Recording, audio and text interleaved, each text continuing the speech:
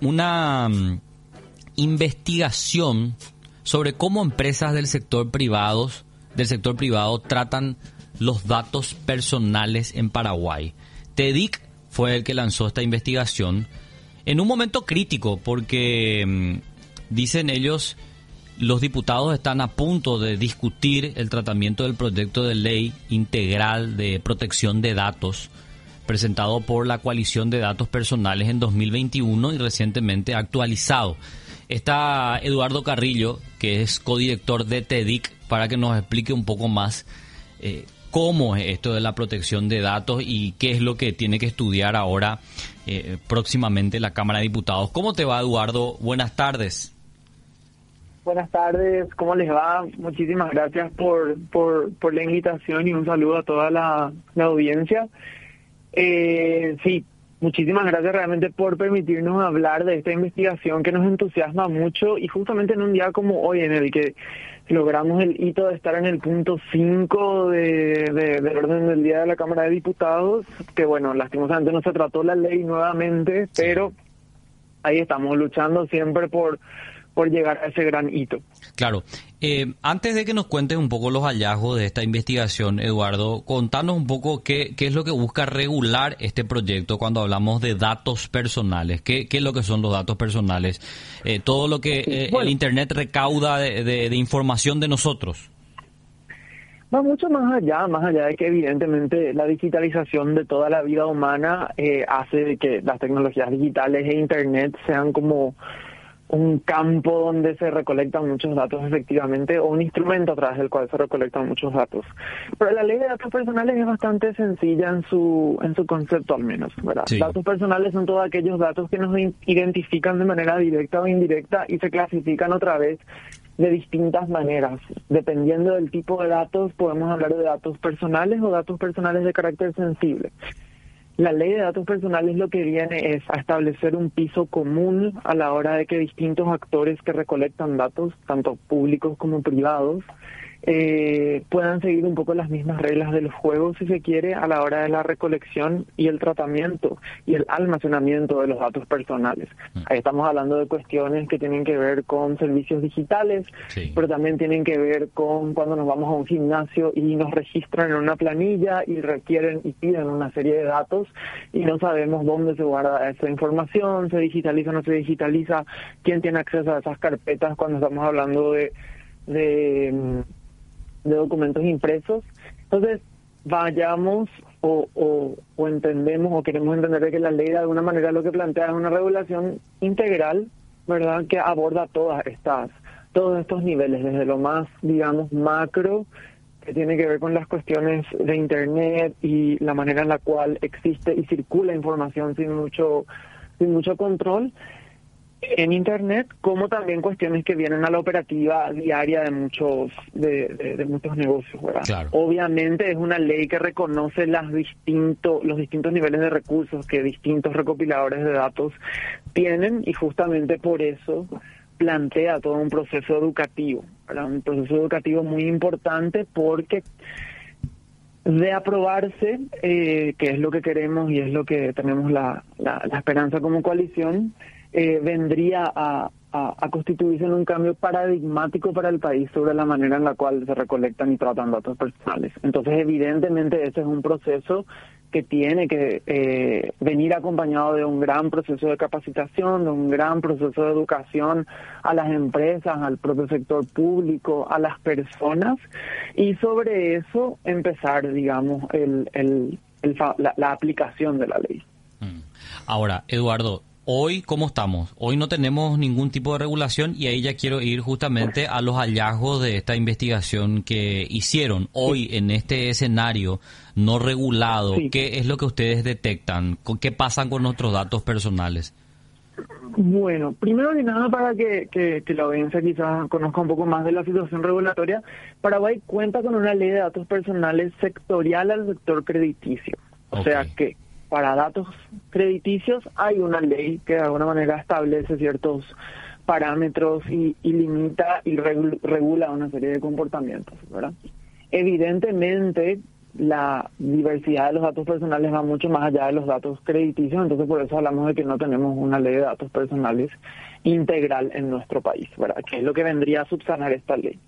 Entonces, nosotros en TEDIC venimos hace bastantes años eh, generando distintas investigaciones que buscan entender cómo actores públicos y actores privados, que obviamente son distintos, las responsabilidades son distintas también, pero cómo estos actores van recolectando eh, y tratando información. En esta ocasión lo que estamos lanzando es una investigación que se construye de alguna manera en un proceso exploratorio que habíamos hecho en 2017, en donde buscábamos entender, 2017-2018 para ser exacto, en donde buscábamos un poco entender cómo el sector privado estaba en ese momento, sin ningún borrador de proyecto de ley, etcétera, recolectando y tratando datos personales. Hoy lo que estamos haciendo es volver de alguna manera a revivir esa investigación, pero con una nueva muestra, con nuevos actores del sector privado y ya también utilizando el marco que podría ofrecer la ley de datos personales para analizar cómo estas empresas eh, recolectan y tratan datos personales. Entonces, esta investigación se concentró en tres sectores eh, bastante específicos. Bienes raíces, el sector fintech y eh, el sector de recursos humanos. Entonces eran empresas de mediano tamaño a tamaño grande por cuestiones de eh, confidencialidad nosotros decidimos y a modo de poder discutir francamente con estos actores sobre sus prácticas decidimos otorgar anonimato a las empresas que nos dieron la, la, oportunidad de poder entrevistarles y realmente muy, muy proactivamente se sumaron a la hora de explicarnos cómo entienden la importancia de los datos personales, cómo quizás no están de acuerdo con ciertas cuestiones eh, y por sobre todas las cosas generaron una, una discusión franca, ¿verdad?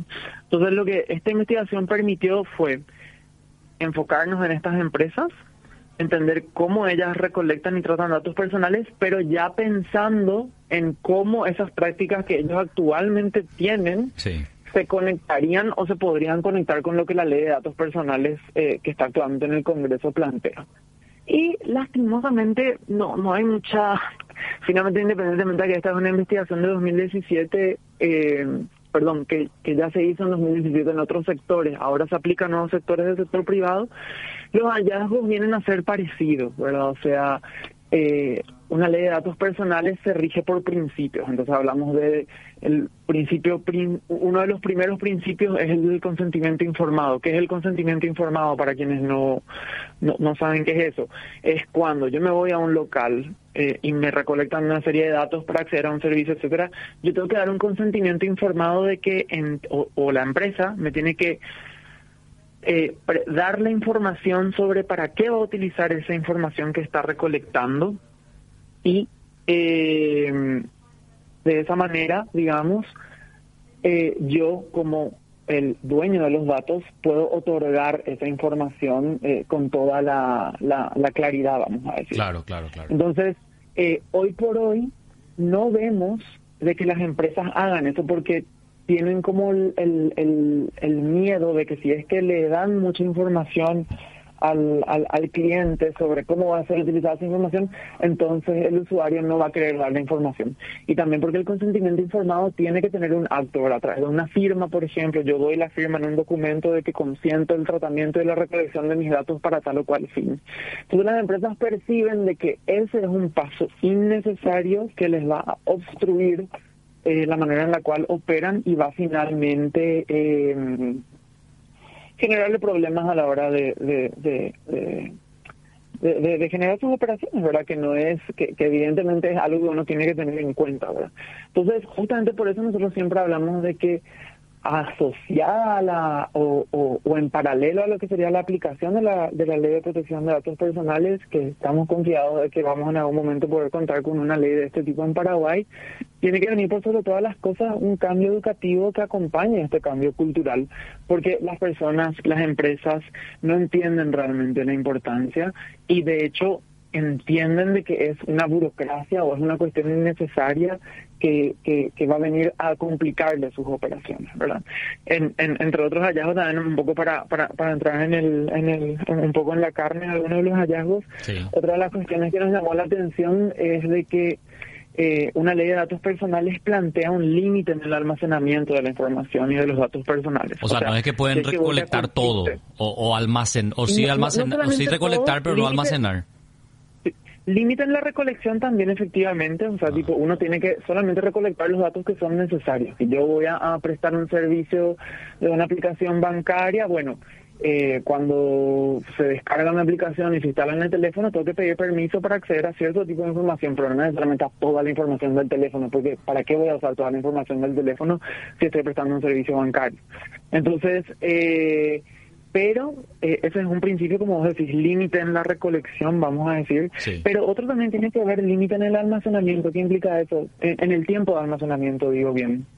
Y eso implica un poco de que no puede ser de que una empresa eh, recolecte información hace 50 años y todavía tenga esa información, a pesar de que el cliente ya no usa sus servicios, el cliente eh, se salió de, de, la empresa, o bueno, millones de escenarios, ¿verdad?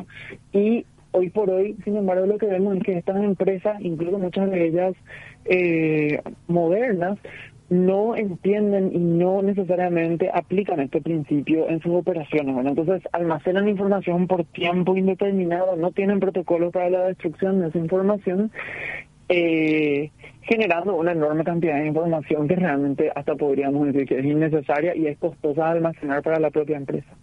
Entonces, hay distintos por eso justamente la ley plantea una serie de principios eh, que guían o, deben guiar lo que va a ser eh, la futura recolección y almacenamiento y tratamiento de datos personales, ¿verdad? Porque también eso es muy importante de entender, ¿verdad? O sea, una ley de datos personales no viene para nada a decir eh, volvamos para atrás, no tienen que recolectar datos personales, no, lo que viene es a establecer reglas claras para todas las partes, tanto yo como eh, titular del dato, como para la empresa o el sector público que me recolecta ese dato, cuáles son los límites eh, y cuáles son las reglas sobre cómo se tiene que utilizar esa información.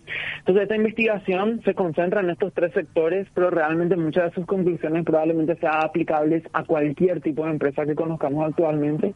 Así que nos interesa muchísimo que esta investigación se lea, que las empresas se hagan eco de esto para que reflexionen un poco sobre sus operaciones y sobre cuestiones que están haciendo actualmente y sobre eso empezar un poco este camino y esta transición hacia una sociedad más respetuosa eh, y más eh, y que protege sus datos personales más activamente eh, y que evidentemente va a requerir un, un, tiempo importante de adaptación que entendemos es perfectamente necesaria y parte del juego eh, de, esta y, de esta gran oportunidad que va a traer la ley de datos personales una vez sea efectivamente sancionada y aplicada.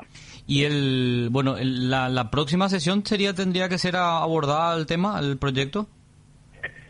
Y esperemos que sí, ¿verdad? Tenemos que ver qué sale en la nueva orden del día, ¿verdad? Hoy no se llegó finalmente a, a, a tratar el punto, Así que nada, nosotros estamos más que más que atentos a seguir insistiendo a que la ley eh, se ponga como punto prioritario de tratamiento, porque ya esa ley está desde 2021 en el Congreso y hasta ahora nunca hemos logrado de que ella efectivamente sea tratada en el pleno del Congreso. Entonces, hay un importante rol de los congresistas de eh, efectivamente darle la atención que se merece a este tema eh, nosotros como coalición de datos personales estamos a disposición para hablar sobre el tema y seguir insistiendo también y también desde el Ejecutivo evidentemente eh, esperamos un poco todo ese, acompañamiento verdad desde el, desde el MITIC para que efectivamente este proceso se destrabe y eh, se pueda efectivamente tratar esta ley.